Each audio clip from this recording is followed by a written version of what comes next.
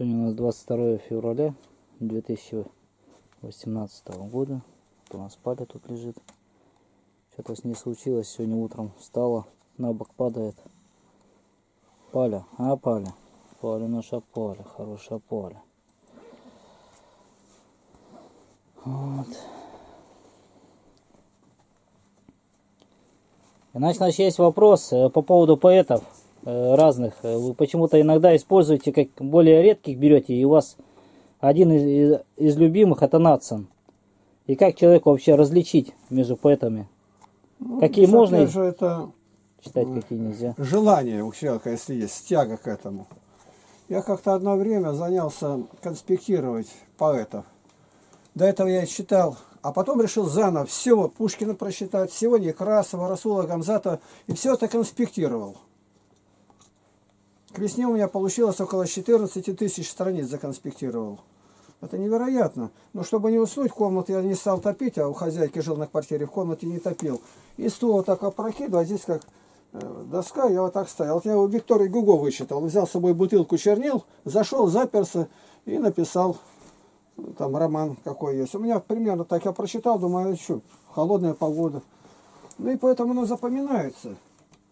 Как определять? В то время, когда я еще даже ничего не знал, я любил. И из газет везде выбирал. Вот Никите понравилось, я сказал, если четверть века позади, а ты еще не звонок и не ярок, еще не приготовил свой подарок, то от тебя подарка и не жди. Я могу назвать поэты, какие там стура или советы, это еще в армии был. А уж когда я Библию в руки получил, тут я все стал сравнивать в отношении с Библией. А раз я знаю поэзию, но она у меня вырывается, это я мог рассказывать примерно 6 часов подряд стихи читать наизусть. Едем в поезде, я одни стихи читаю. И люди очень э, расположенные, прям приближаются, купе всегда было забито. Ну а потом, конечно, и опыт, опыт много значит. И сам маленько писал.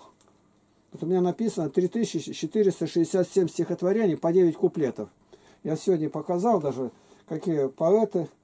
10 взял Пушкина, Некрасова, Лермонтова, Блока, Рождественского, Расула Гамзатова. И у меня получилось у одного в два раза больше, чем они за всю жизнь написали. Почему? Они тему выдавливают. О, о чем написать? А тут редакция, а тут компартия. Он все время зажатый, поэтому даже при лучшем таланте, как у Исаковского, он ничего не может дальше написать. А потом что будет заливаться. Я другой такой страны не знаю, где так вольно дышит человек. Лебедев, Кумач и прочее. Более угнетающего не было духа, как в Советском Союзе. А, но я другой такой страны не знаю, где так вольно дышит человек. А его задавили. Ни свободы слова, ни печати. Я это все слышал с детства. И я понял, что если что-то писать и говорить, надо смотреть выше голов. Пойти ответить, где надо перед властями. Вот я вел занятия в пяти университетах. А тут спрашивают, а почему ваши занятия такие популярные были? Занятий было много. При каждом храме начали вести. Наши занятия были самые популярные. Притом это не мои слова. Это слова редакции, слова э, ГТРК, которые брали интервью. А как определяли? Очень просто. Вот студенты, они приходят на занятия. Я веду занятия по изучению Библии, по толкованию святых отцов. Я им говорю, вы все по Библии идете, а люди, которые нас занимались, в сравнении с тем, как у других священников, это у них кухонное. Он сам говорит, что думает, а я отвечаю словами Писания и толкую Писание. Ответ Бог дает, не я. Ясно дело, что люди это видели. Ну и что? Очень просто. К нашему ректору, а это студенч... студенческий городок, можно сказать, АГТУ, 21 тысяча студентов, пришли бизнесмены города Барнаула, ну и попросили Евстигнеева, это ректора этого университета, Владимира Васильевича, вы дайте нам какого-то человека, который бы нам ну, уровень повысит. А то нас зовут русские, новые русские, там, Вован, да всякое. Ну, правда, образование-то не... Советское-то по этой теме-то никак нету.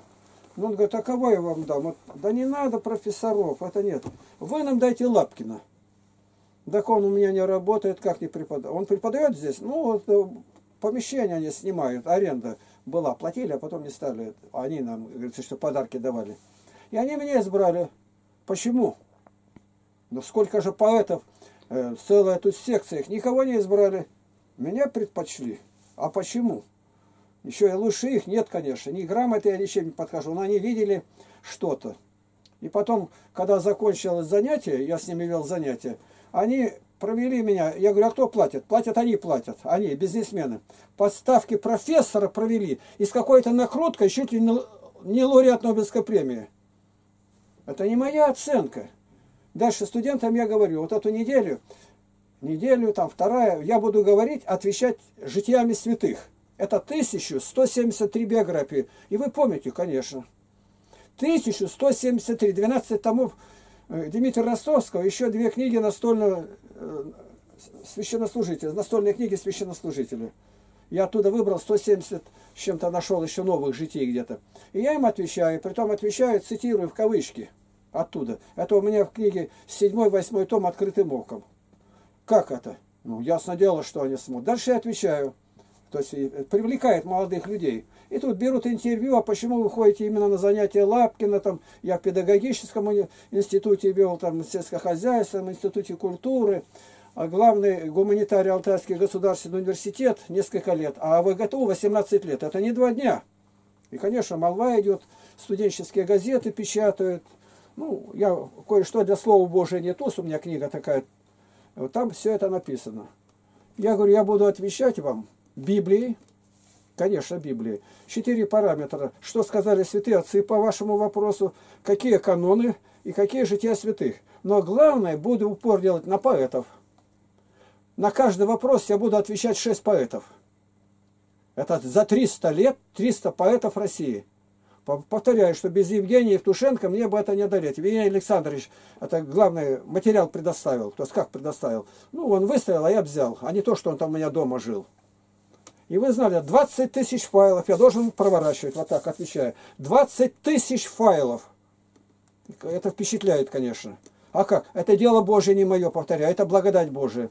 И это у меня вышло 26 том открытым оком. 752 страницы. На каждый вопрос, который студент задает, я ему отвечаю, что сказала Библия на это. И вопрос, а не просто так. А вопрос какой? Какие поэты писали о приближающейся революции. Ну, кто скажет? Выходите. Да ничего не скажет. А я шесть должен найти. Шесть. Я должен мгновенно вычислить. У него, допустим, у поэта 700 стихотворений, как у Пушкина. Я должен только знать, где именно про это сказано. Я не только должен рассказать, а должен все время лежать в памяти. Где вдруг замер, замигала лампочка? Вот здесь. А кто это еще сказал? Про это у Андрея написано, такого-то называю, белый. А это, а это Максимилиана Волошина. И, смотри, 26 том. Когда я выпустил, если в библиотеке книга есть, ее попросили, назад не возвращается, сразу сметают ее литераторы. 300 поэтов России за 300 лет что сказали? Ну, вдумайся в это. Люди, которые сегодня, ну, все понимают, это невозможно. Это нельзя ответить так. Что именно на определенный вопрос, допустим, где написано, что мужчина, да, так хозяин, должен крепко держать женщину в руках. Кто сказал? Я сейчас задам. Кто сказал? Я это вопросы поверну к вам. Ни один не ответит. А как? Бог отвечает. Я отвечаю в таком-то году, поэт кто-то сказал, а второй поэт сказал так-то. И к этому стихотворению, шесть поэтов, я везде прилагаю эпиграфы из Библии и своими словами немного отвечу. И поэтому, если я выбираю какого-то поэта, то смотрю, что у него сказано по Библии. У Пушкина примерно на 750 стихотворений, которые он написал, примерно три есть. Это пророк, конечно, там еще немного. Остальное ветер, юбочник. И, ну, не буду об этом говорить даже. А о нем другие сказали. Иосиф Бродский там все ему разобрал Пушкина по косточкам. Там ничего нет, его просто э, на люди на пустоте раскручивали. У Лермонтова выхожу один я на дорогу, там минуты жизни трудно, ну не больше пяти стихотворений. Все. А их 400. Нету больше. Нету, я взять не могу. У Некрасова, у Некрасова больше. Я взял примерно 15 стихотворений, где говорится о Боге, о положении души по отношению к Богу и прочее. И больше всего от в ракурсе Библии, больше всего в духовном плане у Семена Яковлевича Натсона. Он жил 24 года, Лермонтов 27, а Пушкин 37. Ну понятно, за это время 24 года, да болел-то все время, чехотошный был. Но какие у него стихи, друг мой, брат мой, страдающий брат. Это все на песнопение положено. У меня самый любимый, а другого нет. Конечно, очень близок мне Григорий Нарикати. Это армянское. У меня ирландские мелодии. Там был у Христа младенца сад. И много роз взрастил он в нем. Он трижды в день их поливал, чтобы сплесть венок себе потом. Когда же розы расцвели, детей еврейских позвал он. Они сорвали под цветку, и сад был весь опустошен. Как ты сплетешь теперь венок в твоем саду нет больше роз. Вы позабыли, что шипы оставил нам, сказал Христос. Из шипов они сплели венок колючий для него. И капли крови вместо роз, чело украсили его. Вот я примерно считал это лет 15 назад, и откуда-то всплывает, и начинаешь вспоминать. Вот, мне нравятся есть такие. У Хаяма там хорошие стихи есть. И поэтому из алтайских поэтов я никого не мог взять. Одно стихотворение промелькнуло, а я слежу за этим-то. Пишут поэты ничего ни о чем. А футболисты пишут, зачем мне это? Стихотворение должно касаться конкретно человека. Тут литературная газета, я в нее отдал стих, а потом мне один из этих местных поэтов и говорит, ой, говорит, как трудно ваше стихотворение проходило.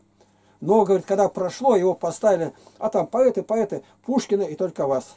Потом вы за ним идете. Я говорю, а что не? Ну вы сказали, что Христос воскрес, они же неверующие. Вот тебе на. Прислушайтесь, как сон вот удивленное пишу. Какой восход встает окровавленный, и в пурпур одевается леса.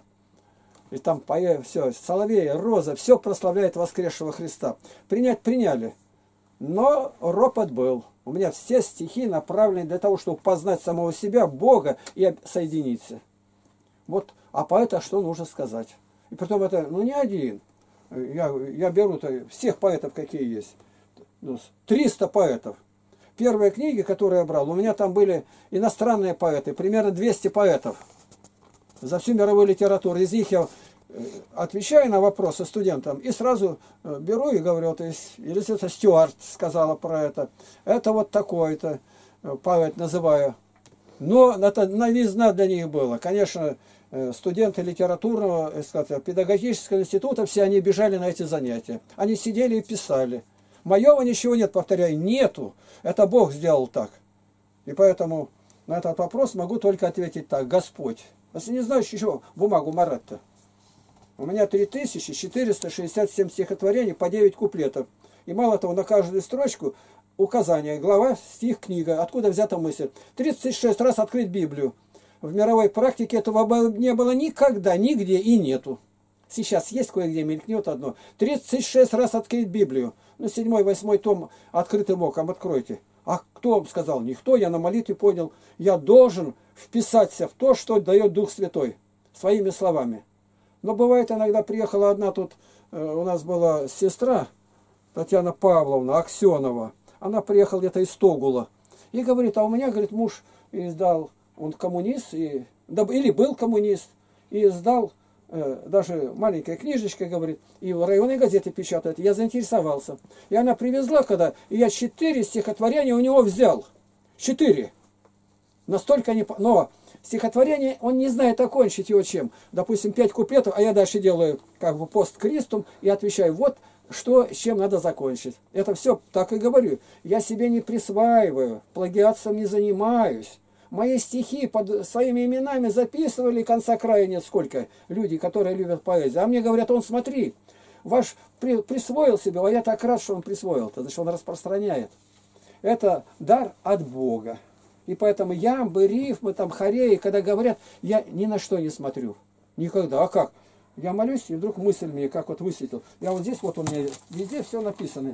Одну строчку написал. Дальше молюсь. Все. Стихотворение 36 строчек вылетит. Немного погодя, кончили мы молиться, я сразу сажусь и повторяю, 7 пачек по 500 листов.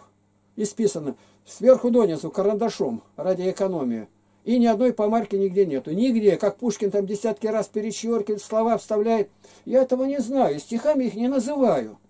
Не называю. Но это четыре книги у меня полностью страницы заняты. Это 32 строчки на странице. Ну, или 42 строчки, это 36. 9 и 36. И дальше Э, Эпиграф беру большой из Священного Писания и одна строчка между ними. Все одинаковые. Это по 800 страниц полных, 4 тома. Это милости Божьей. Вот такой ответ. Спаси Христос. Вас спаси Христос.